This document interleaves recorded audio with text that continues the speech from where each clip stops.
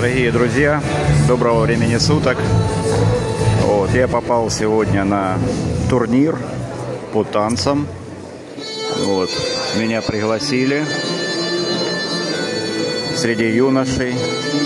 Сейчас идет тренировка. Родители вип-ложи, родители, гости скоро будут подходить. В общем, буду по мере возможности снимать. Очень приятная обстановка. Очень красивые девчонки. Очень приятно, друзья.